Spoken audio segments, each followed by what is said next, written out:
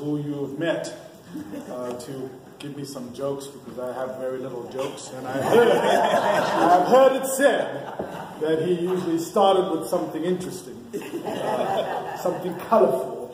So I promise I'll have some coffee with him this week and. But it is good to be back. It is good to see you. It is a gift to be here, and it's a treat to see you all and pray with you all.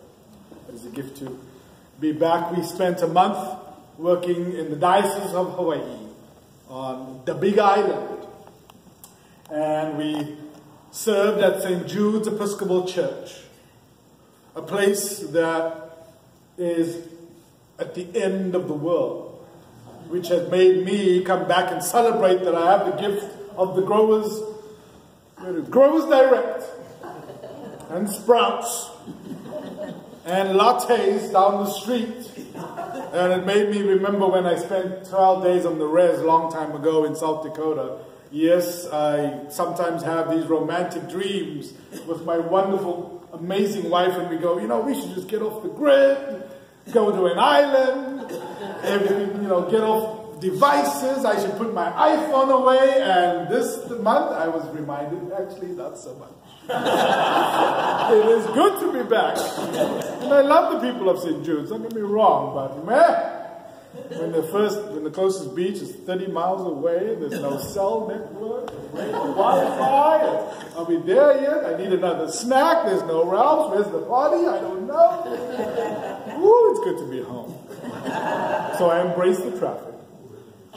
And I embrace the wonderful gift of today's scripture especially because in a strange way we're celebrating the gift of the Transfiguration, which historically, or at least most times, usually comes Epiphany, Lent time, but what a wonderful providential moment that we celebrate the Transfiguration. And I know at least most preaching I've heard has been the classic, you know, the mountaintop experience, but we have to go down into the valley and uh, uh, moralism almost. What, what strikes me instead this morning on this gift of the Transfiguration is the affirmation of Jesus' identity. A fancy word in the church, Christology, how we understand the identity of Jesus. And what excites me even more is that this identity shines out on this mountaintop. And the next shining we will see is this holy candlestick on Calvary, the cross, shining out into the world. And when you read the history of St. Mary's in a plastic folder somewhere hidden in the Rose Cottage, there's this interesting sentence in this paragraph when Bishop Stevens consecrated this building and called it St. Mary's um, in 1929 how there's, there's a lighted cross somewhere. That was the vision, at least, for this lit cross to shine out into the community, touching the ocean, touching everything around here geographically. Because at that time, when we see the pictures, there was really not. There was a thousand people, according to Laguna Life, I think, newspaper at the time. But what a wonderful reminder about identity in this celebration of the Transfiguration, this light shining forth from Jesus of Nazareth, affirming his glory, who he is, his essence, his being, and the voice the divine. Behold, my son. And I, I, it was interesting for me this week praying about this because it affirmed culturally, I understood better why we talk about father son. I learned that there was a time that when women gave birth, they were treated as just carriers of the child. I mean, now there's the gift of knowing genetic connection, DNA contribution of the mother, but at, at a time, it was the Father and the Son and the inseparableness of those two. The women were just merely carriers of this child. And I give thanks to God for post post modernity because now we know you know, 50%, and so when it's the good stuff is in Jonah, I hope he's not here, I'm picking on him. All his mom, and when it's little dodgy stuff, I know it's me. Okay. But that being said, what a wonderful reminder about identity. What a wonderful invitation for us at St. Mary's. And my challenge to you, my invitation to you on your faith journey, are you willing to reveal yourself in this community? Are you willing to share who you are in this community? And I'm just curious. I want to really get to know you. I've been here a year now. And I would really like to get to know you. And that's the wonderful invitation that I'm hearing that moves me from the mountaintop transfiguration experience identity. Our Lord knows what's coming in Jerusalem.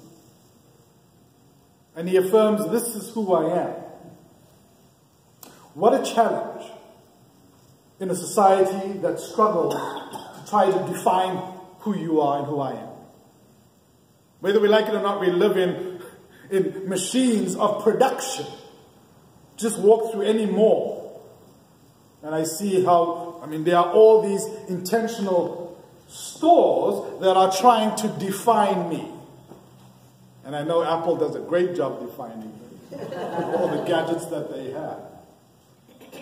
So, what a wonderful opportunity for places of faith to affirm what does it mean to be countercultural? I will not have a product define who I am. I will have the life of Jesus define who I am. I will have this rabbi who lived in a particular time in a particular place, not from the planet Krypton, but was born of Mary the God bearer, as the Orthodox brothers and sisters would say, the name of this place, Saint Mary, the God bearer. How might we bear God to this community? How might we embody the divine economy, the sharing economy, the kingdom to our community, to our homes, to our families. So I'm curious. In your hearing of, in your historical experience of transfiguration, where in your life is transfiguration taking place? Where in your life is transformation taking place? I know I feel the Spirit moving at St. Mary. I feel the Spirit moving in Orange County. And even when the Spirit's definitely moving amongst the Episcopal churches. Because before I went on vacation, we have a deanery, right? Well, it's the, it's the deanery. Uh, I'm, Wall's going to correct my language because I sometimes forget how we classify our geographical locations, but we all have deaneries. And my passion is how will our Episcopal presence ooze into our communities? Because we've been spending a lot of time fighting with one another.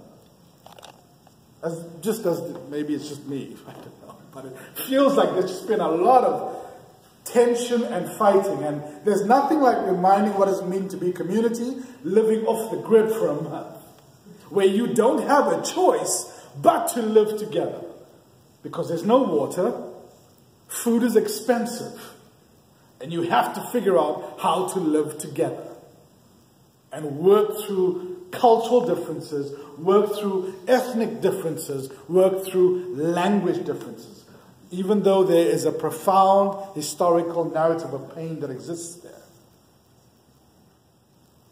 And so, what a wonderful reminder for me in my own prayers because do we notice Jesus goes up to the mountaintop to do what? To pray. The Spirit, I feel Jesus challenges me in my own spirituality Have you become comfortable, Lester? Have you forgotten how scandalous my ministry has been? Or have you become comfortable with your latte and your. Again, this is just me. This is just what has happened in my own prayer life. Have I become comfortable? Or have I forgotten what Jesus of Nazareth stood for? The essence of his being, his Christology, his identity, rooted in love. Love neighbor, love God, love self. So for you this week, for this August, as we journey together, as we continue our journey together, what is transforming here? What is transfiguring here? And how do we experiment together? That will be my driving question. How are we going to pray together? How do we celebrate the broadness of being community in prayer, in the way we worship, in the way we serve? It's fascinating. I've been, I've been swallowed into a lot of research and readings about transforming communities. Is it true and is it fair? Most people, what they want from their church is spiritual coaching, spiritual direction. How do I grow spiritually? Is it true? Is it, do you think it's true? From, from three, this, this research of, of Move, 3,000 congregations over a period of 10 years almost were interviewed constantly and etc. etc. And what people thought was important ended up not being, well, important but not as crucial as spiritual guidance. And of course, energetic sermons. the place. We want good preaching. if anything. What does that look like for us? How do we ooze that into this community? Because we have an opportunity. We have an opportunity, like in the Transfiguration experience, to really live into that statement I read into the history of St. Mary's, to have a lit cross lighting the neighborhood, being the kingdom of God. So, how are you doing? Again, it's not a retort. I'm genuinely curious. How are you? How are you doing? Oh, well, you had my grandfather for a month, so I know that was interesting. So, well, at least, I, but I hope you got to learn something about me, because he raised me. I grew up in that household, and I'm sure he must have told you the story about me having to clean the pool and my children. Right, Colonel, our dog. But where, where are you? Is that a fair question? Yes.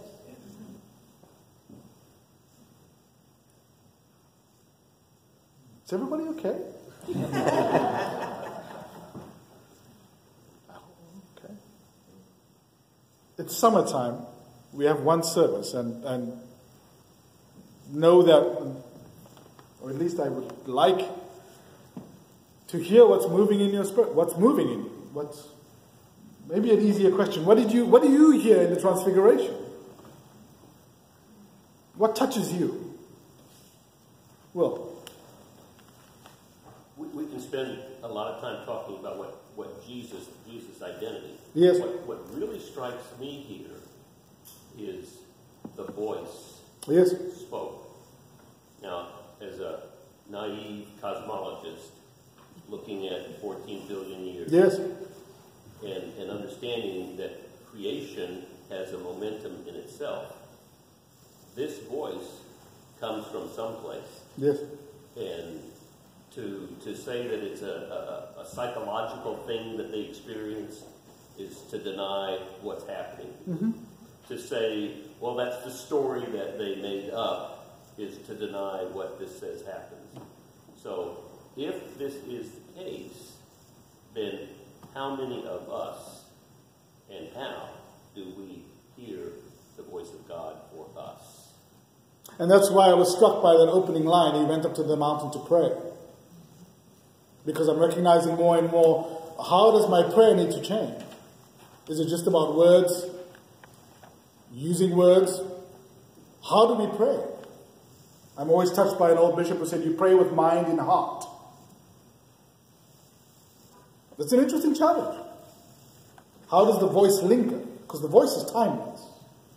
Again, from a scientific point of view, I'm just an amateur, but quant- Stephen Hawking calls it quantum fluctuations. For anything to happen in the cosmos, it has to be immaterial, meaning it's not physical. It stands outside of time and space, right? Because there is no time. And it has to be conscious because it thinks, predominantly in the language of mathematics, because that's what quantum mechanics uses. That I call God. But, Thank you. But where does that voice and how do we hear that voice? I, I hear you. I'm with you.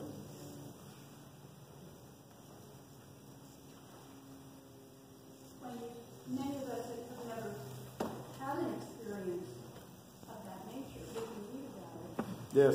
but other people have had a, a transfiguration experience, a transforming experience, but many of us have not had Yes. And um, how do we apply it to our real life is, is, is a really good question Yes. because it's never um, manifests itself in that way. And many, some of us are always been looking for that, Yes. and it's not come. And some some people have fallen away from the church Mm. because it has not come, and other people like myself have continued to be here Mm. even though um, I, there was not this tremendous experience. There can be the voice of, of God in other people, Yes. the voice of God in people. One can um, reinterpret this in a, in, a, in a purely human way. Yes. But there are some people who claim that they have had these type of transforming experiences. And I do wonder why and how. I think in spirituality, we often hear the term um, wake up, stay awake.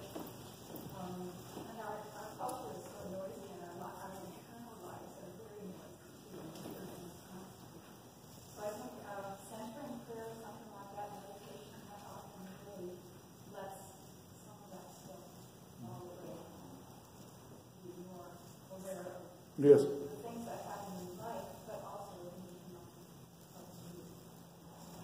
Dick. Thank you. uh, I've often wondered, perhaps, the way we think about, quote, hearing God, Yes. that's, that's our audible sensory system. I have trouble thinking I've ever heard God, but I do believe that I feel God's presence, and I feel that God has information that is conveyed. Yeah.